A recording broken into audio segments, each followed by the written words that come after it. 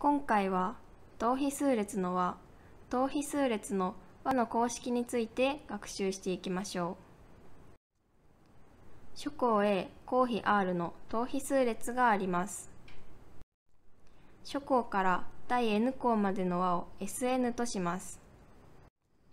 R ノットイコール1の時 RSN を表します。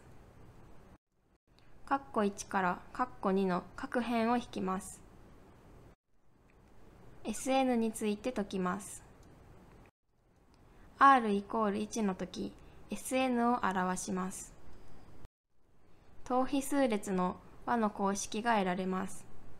等比数列の和の公式は r ノットイコール1の時、Sn イコール1マイナス r 分の a 括弧1マイナス rn 乗括弧閉じる r イコール1の時 Sn イコール NA です。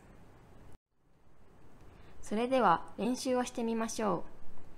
一時停止ボタンを押して練習問題を解いてみましょう。解き終わったら再生ボタンを押して丸付けをしましょう。それでは答え合わせをしましょう。等比数列の和の公式に当てはめて答えを求めます。よって和は3括弧2の n 乗マイナス1括弧閉じるとなります。正解することはできましたか？最後に今回の学習のおさらいです。諸項 A 項比 R の同比数列があります。諸項から第 n 項までの和を Sn とします。R ノットイコール1の時 RSN を表します。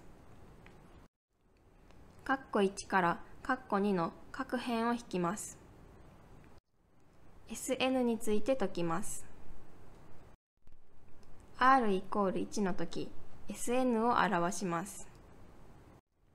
等比数列の和の公式が得られます。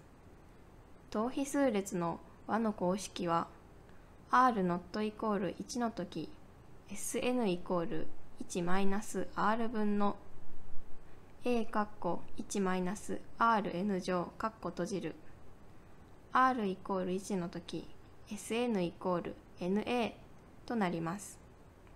これで今回の学習を終わります。